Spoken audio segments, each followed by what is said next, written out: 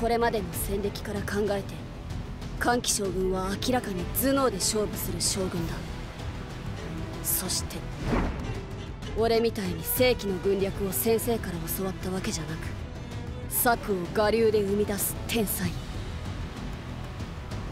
さあこの最大の好機。あんたは一体どう動くんだ？歓喜将軍。おい。へい来た。